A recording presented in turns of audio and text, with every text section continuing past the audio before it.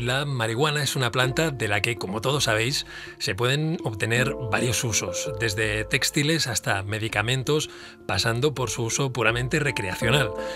Hoy nos vamos a centrar en su uso terapéutico y lo vamos a hacer con un experto en la materia, el bioquímico y biólogo molecular Manuel Guzmán. Buenos días, Manuel. Hola, buenos días. Bien, catedrático de la Universidad Complutense de Madrid, licenciado y doctor en ciencias biológicas por dicha universidad, a finales de los 90 comenzaste una línea de investigación centrada en el estudio de cómo los compuestos activos del cannabis, los cannabinoides, actúan en el organismo. Eh, ¿Qué os llevó a ti y a tu equipo a, a estudiar esta planta?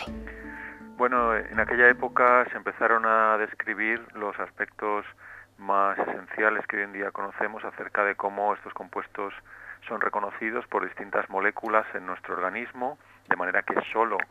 aquellas partes de nuestro organismo que contienen estas moléculas que reciben, por decirlo así, a los compuestos activos del cannabis, las hacen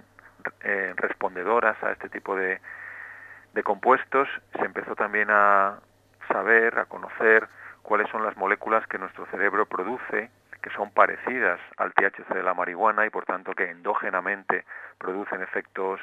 parecidos, los llamamos por tanto cannabinoides endógenos, producidos por nuestro organismo, o endocannabinoides, usando ese acrónimo, y fue una época muy activa, digamos, en el renacimiento del estudio de esta planta, con lo cual, bueno, pues sumado a que teníamos colaboraciones en aquel momento en nuestro laboratorio con algunos otros laboratorios que estaban también ahí en, digamos en la brecha en el estudio del cannabis pues hizo que a la segunda mitad de los años 90 decidiéramos cambiar de línea de investigación. Nosotros trabajábamos en otro aspecto diferente en concreto en aspectos de metabolismo hepático en, en el campo de la hepatología y pasamos ya al campo de las neurociencias en concreto pues al estudio de, del cannabis. Es decir fue una cosa bueno pues motivada un poco por un tema que parecía apasionante y que realmente nos interesaba. Empezamos hace pues 16, 18 años a trabajar en este en este terreno y bueno, pues después de mucho tiempo hemos conseguido dilucidar algunos aspectos nuevos de cómo actúan estos compuestos en el organismo y cómo podrían ser herramientas terapéuticas interesantes, sobre todo en los terrenos de la de la neurología, sobre todo en enfermedades neurodegenerativas y especialmente en el cáncer. Mm, interesante, enseguida hablamos de ello. Eh, quería aclarar una cosa para los profanos, yo de hecho soy bastante profano en este sentido. Eh, marihuana, cannabis, estamos hablando de lo mismo, ¿verdad? Sí, es como si dijéramos, pues a partir del trigo, de la planta del trigo, uno puede hacer harina, puede hacer galletas, puede hacer pasteles, puede hacer pan, etcétera, pues a partir de una planta, como es el cannabis o la marihuana, como queramos llamarlo, uno puede hacer distintos tipos de preparados, puede, puede hacer tinturas, puede hacer aceites, puede utilizar la planta cruda, puede hacer polen, puede hacer kifi, puede hacer hachís, etcétera. Es decir, estamos hablando de una planta que da lugar a distintos preparados en un caso o en otro. Y es cierto, Manuel, que el cannabis se, se está usando medicinalmente eh, desde hace 5.000 años, ni más ni menos. Sí, es lo que se, se tiene bien datado hoy en día. Hay desde las antiguas civilizaciones orientales, sobre todo en la antigua China y la antigua India, existen datos bien refrendados de, por la arqueología de que al menos eso, en el siglo 30 antes de Cristo aproximadamente, ya se utilizaba el cannabis para paliar distintos tipos de, de enfermedades en aquellas civilizaciones. Y bueno, ¿cuáles son sus usos en este sentido? Tengo entendido, por ejemplo, son ah, propiedades analgésicas, antiespasmódicas, relajantes musculares, pero me has hablado de cosas que van más allá, neurología, cáncer, estamos hablando de cosas eh, muy potentes, ¿no? Sí, bueno, hay propiedades del cannabis, digamos, mejor establecidas y otras que están todavía en investigación y que no sabemos bien hasta dónde pueden llegar. Eh, también hay que decir claramente que el cannabis, por un lado, tiene propiedades terapéuticas muy interesantes, pero por otro tampoco podemos pensar que es la poción mágica de Panoramix y que va a curar todo tipo de enfermedades en todo tipo de pacientes. El cannabis, como otros medicamentos, pues tiene sus efectos terapéuticos, en algunos casos también sus efectos secundarios y tiene, bueno, pues un digamos, colección de enfermedades en las cuales se puede aplicar, pero bueno, con una eficacia a veces limitada y que no siempre es el mejor medicamento, ¿no? Pero sí hay algunas indicaciones para las cuales ya está bastante bien establecido. Por ejemplo, la más clásica, quizá la que a lo mejor la gente tiene más en la cabeza, es la inhibición de los vómitos y las náuseas en pacientes que están siendo tratados con quimioterapia, pacientes de cáncer generalmente. Por ejemplo, en el tratamiento del dolor, son compuestos analgésicos bastante eficaces en algunos casos para también incrementar el apetito e impedir la pérdida de peso en enfermedades crónicas degenerativas en las cuales los pacientes pues pierden peso, por ejemplo cáncer, sida, etcétera, y por ejemplo para el tratamiento de algunos aspectos, digamos, motores de la conducta motora, esencialmente todo el mundo sabe que cuando toma cannabis, pues baja la actividad motora y eso puede ser interesante en algunas enfermedades como la esclerosis múltiple que transcurren con espasmos, con temblores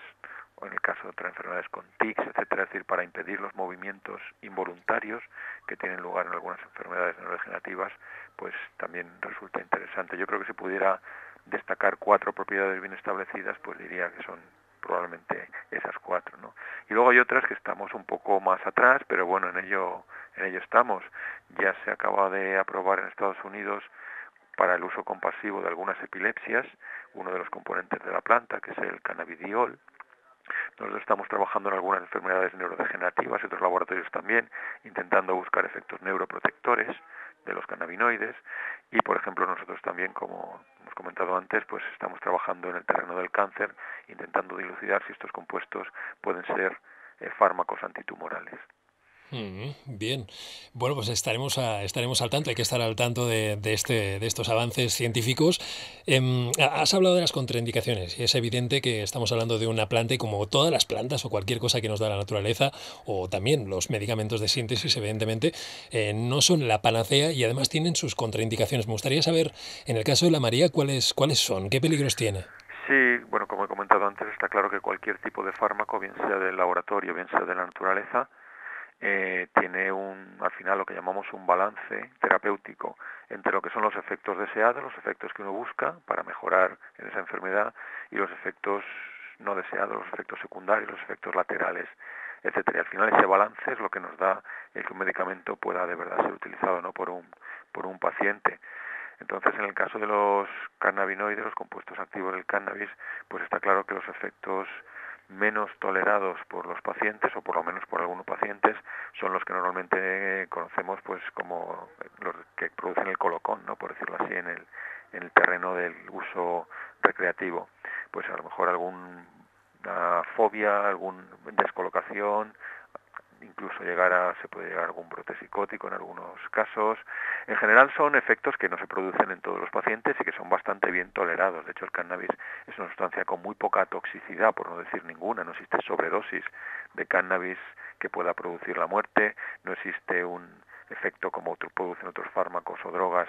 que sobre, por ejemplo, la contracción del diafragma o el batido del corazón. No es una sustancia que tenga toxicidad, no puede matar, por decirlo así. Si nos podemos coger un globo muy fuerte y, estar totalmente descolocados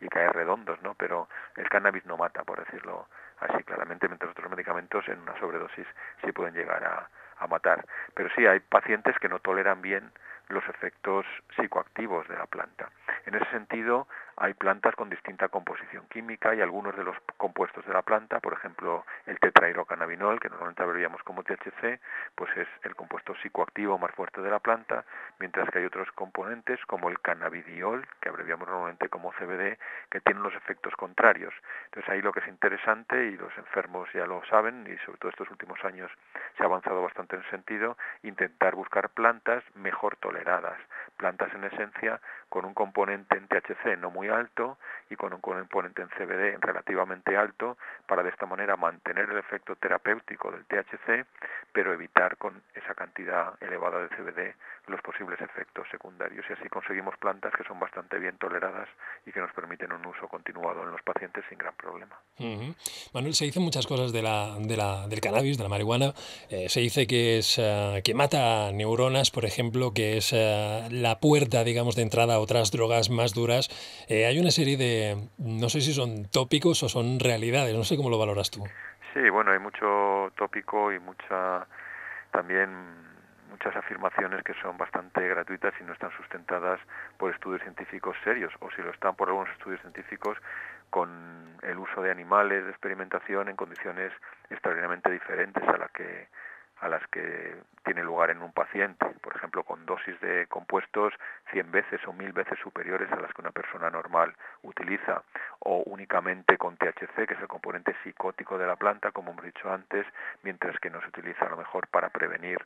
esa acción psicótica del THC, otros cannabinoides como el CBD, que sí que están presentes en la planta y que es deseable que estén presentes en la planta. Entonces, en ese sentido, no es lo mismo un ratón utilizando 100 veces más dosis de THC que un humano que utiliza una cantidad más baja y que utiliza normalmente una planta mezclada con THC y CBD. Entonces, muchos de los estudios que se han hecho en animales de experimentación son útiles para entender algunos procesos que ocurren en humanos, pero realmente su extrapolación no es tan sencillo. Está hoy en día bastante claro que al menos cuando las neuronas ya están formadas, a partir de los 18 años, 16, 18 años aproximadamente, el cannabis no mata neuronas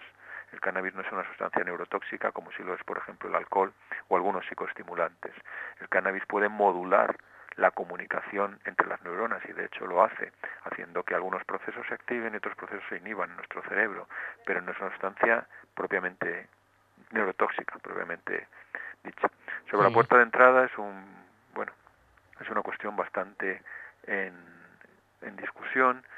realmente hay, digamos, un aspecto biológico que nos podríamos plantear, es decir, si el cannabis en sí mismo puede tener algún efecto de aumentar la,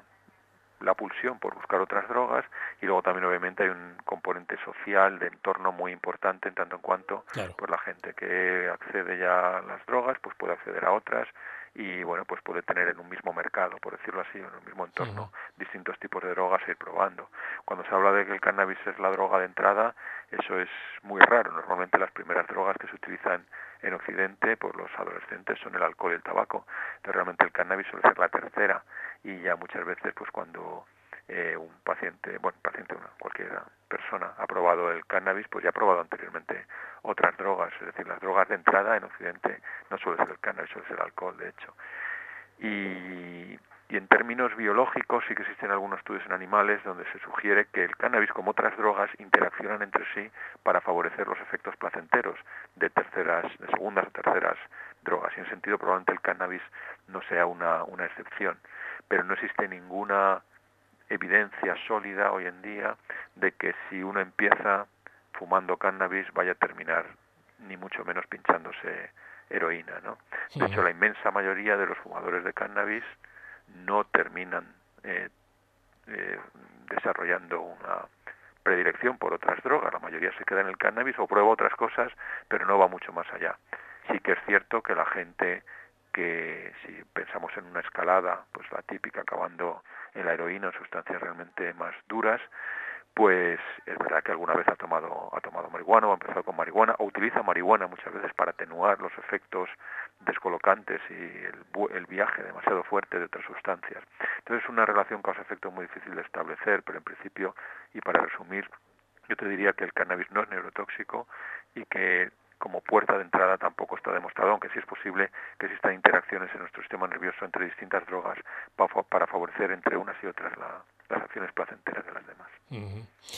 Bueno, hay toda una serie de, mitos, tal vez eh, eh, pues eh, potenciados por el hecho de que estamos hablando de algo ilegal. Estamos hablando de una sustancia que se, ha sido ilegalizada, no pues por ejemplo, ya hablabas del alcohol, un, componente que sí que es neurotóxico y que puede llevar, y que de hecho lleva habitualmente a personas a, pues, a situaciones eh, muy delicadas, ¿verdad? Entre accidentes, eh, destrucción del entorno familiar, una serie de cosas. De hecho, decía Barack Obama hace relativamente poco, afirmaba que fumar marihuana no es más peligroso que beber alcohol. No sé qué, qué puedes decir tú al, respecto. Esta situación de, de, de, sustancia ilegal comparada con otras que son legales y que al parecer, pues, mm, mira, dice Barack Obama que, que a lo mejor son, son más peligrosas. Sí, sí. Sí, bueno, lo puede decir Obama o lo puede decir probablemente un campesino de un pueblo de Albacete. Es decir, creo que eso es algo que está tan, es tan claro ya, no solo a nivel científico,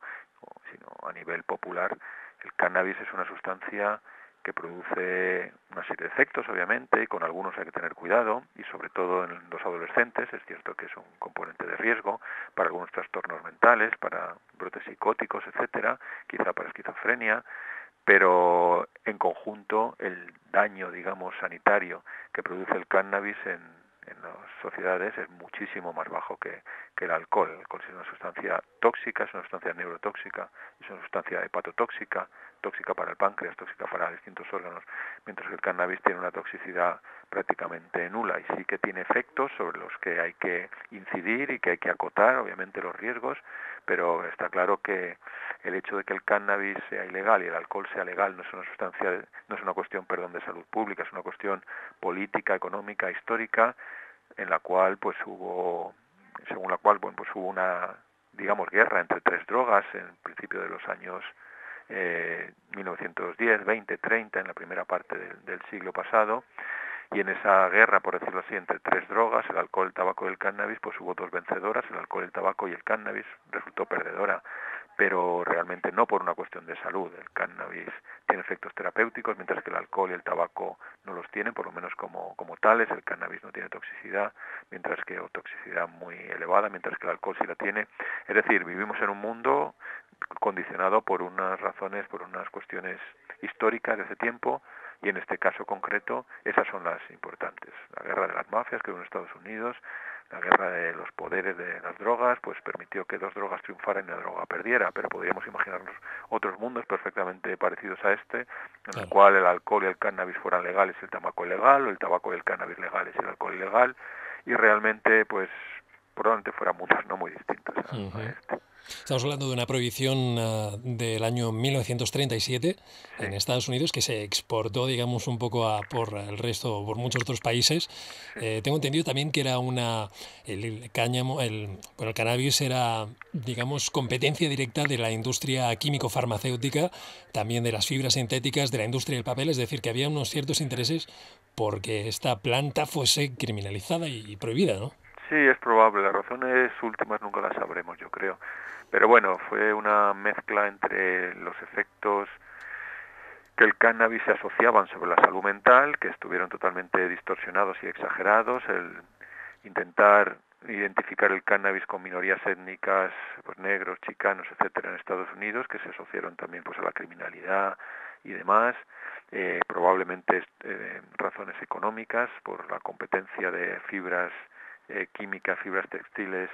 eh, digamos, sintéticas con el cáñamo industrial, mm, efectos también claramente más enganchantes de algunas drogas como la nicotina y el alcohol para favorecer desde luego su inclusión en el mercado y que se fuera un negocio más redondo con una sustancia menos adictiva como es el cannabis frente a una sustancia menos adictiva como el cannabis, etcétera. Yo creo que fue un pupurri de distintos tipos de, razones, pero el resultado neto pues ha sido la legalización de algunas drogas, la legalización de otras, pero no en función, como decía antes, de su efecto sanitario, como muchas veces nos intenta convencer, sino otro tipo de, razones que van más allá de, la ciencia o de la medicina. Bueno, aquí se han llegado, no sé si, si estoy bien informado, si no me corriges, eh, se han llegado a poner o interponer multas de hasta 20.000 euros por tener plantas de marihuana. Eh, eh, no sé si a tanto se habrá llegado, pero realmente eh, sí que se ha podido llegar a varios miles de euros y ahora con la, el proyecto que hay de ley de seguridad ciudadana sí que se han subido las, los límites, aunque el límite de 20.000 creo que se ha rebajado en el último el último borrador. Pero bueno, es absurdo que alguien tenga que ser multado con un euro, con 10.000 euros por tener plantas en, en su casa, pero sí, sí que hay gente que a partir de una serie de plantas, normalmente a partir de tres, cuatro plantas, eh, muchas veces los jueces entienden que no es para consumo propio, sino para, para venta o, o para mercado, y entonces, bueno, pues sí que se puede acusar a la persona de delito contra la salud pública y tener un, un buen problema. Sí, es absurdo absolutamente que eso pase hoy en día, en 2014. Me estás respondiendo a la pregunta. De hecho, iba a poner el ejemplo del agricultor Josep Pamias, que fue denunciado por los Mossos de Escuadra eh, por poseer marihuanas que está eh, que usa exclusivamente eh, para uso terapéutico. Bueno, y que tampoco, mm, no sé si en el debate podríamos decir que, que, de hecho, no sé si acaba de importar, de hecho, para qué utilice cuando simplemente. Claro, pues, exactamente. Eso es una cuestión de libertades individuales, que más da cada uno lo utilice para lo que quiera, como cada uno utiliza cualquier objeto que tiene a mano para lo que quiera. No puede coger un cuchillo para cortar un trozo de pan, no puede coger un cuchillo para clavárselo a, a su vecino. Evidentemente no es el cuchillo lo que es bueno o malo, sino el uso que se da del cuchillo. Pues exactamente pasa con cualquier tipo de sustancia. Entonces, realmente el que se utilice para fines médicos está muy bien, parece un fin loable y, y bueno, pues fenomenal, sobre todo en el caso de Josep, que sé que lo hace sin ningún tipo de, de rédito económico, ellos hacen sus aceites y los donan a, los pacientes, lo cual realmente es una labor digna de, de alabanza pero bueno, pues si quisiera utilizar una persona eso para uso recreativo, para lo que buenamente quisiera, pues ¿por qué no? Yo creo que cada persona es libre y responsable de sin molestar a los demás y sin afectar la libertad de los demás poder llevar a cabo su vida como buenamente quiera. Bueno, queda claro entonces que para ti debería eh, no se debería haber ilegalizado y debería ser legal actualmente. Eh, ¿qué, crees que, eso aportaría? Aparte de, evidentemente, pues el hecho de, de, que, que, pues, repercutirían las libertades eh, individuales, que es algo positivo, pero ¿qué crees que aportaría el hecho de que se legalizase? Sí, bueno, para mí lo primero es repercutir en que como dices, en una cuestión política, ética, de libertades individuales, como que cada persona no somos borregos, sino somos niños pequeños a los que haya que guiar de la mano por parte de un Estado, en teoría, mm, digamos, protector, pero en realidad sojuzgador al final, ¿no? y dictador, si se quiere, sobre las libertades individuales. Eso es lo esencial. Y luego, además, está claro que eso permitiría que muchos pacientes en el terreno de la marihuana medicinal pudieran disponer de plantas mejor testadas, eh, mejor conocidas, con efectos más fácilmente eh, reproducibles entre distintos pacientes, no criminalizado, no tener que ir al mercado negro a buscarla o tener el riesgo que tener que estar siempre bajo la lupa de, de la policía para intentar bueno, para, para poder para poder decomisar las plantas o las sustancias, etcétera, etcétera. Entonces, bueno, yo creo que primero una cuestión de libertades y en el caso concreto de la marihuana medicinal, pues una mejora en las condiciones de, de uso. Y parece, Manuel, no sé si, si estoy bien informado, que, que, que, haya, esté, esté produciéndose un cambio. Ahí parece ser una ola de legalizaciones o de regulaciones eh, en Estados Unidos, en Uruguay también, por ejemplo, donde has estado asesorando. Eh, creo que se está invirtiendo un poco la cosa, ¿no? Está mejorando. Bueno, todavía somos 8.000 millones de habitantes en el planeta y todavía creo que muy pocos pueden acceder, una fracción muy pequeña puede acceder a la marihuana de manera no criminalizada. ¿no? Pero bueno, sí, poquito a poco aparecen chispas o destellos de, esperanza, algunos estados de Estados Unidos, Uruguay es otro caso, y es verdad que luego también, pues, como se va aumentando un poco la tolerabilidad social sobre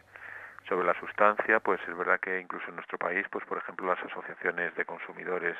han florecido como, como champiñones, hoy en día existen aproximadamente 300 ya en nuestro país, ha sido un vehículo muy importante para que muchos pacientes puedan conseguir marihuana. el caso de PAMIES o de otros, otras personas que lo cultivan y lo donan a, a los pacientes, pues es también realmente importante, siempre se está ahí en el límite entre lo legal y lo ilegal, lo consentido y no consentido, es una pena realmente, es absurdo que sea así, pero bueno, poco a poco yo creo que se va bajando el listón de, la tolerabilidad y creo que, yo espero poder ver un mundo en el cual